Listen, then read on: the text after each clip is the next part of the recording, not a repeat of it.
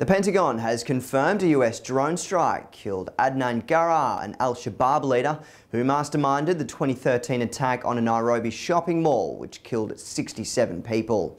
The strike hit a vehicle carrying Garaar last Thursday, with two other al-Shabaab members also presumed dead. The Pentagon says a Somalia-based terror organisation targets US and other Western interests to further al-Qaeda goals.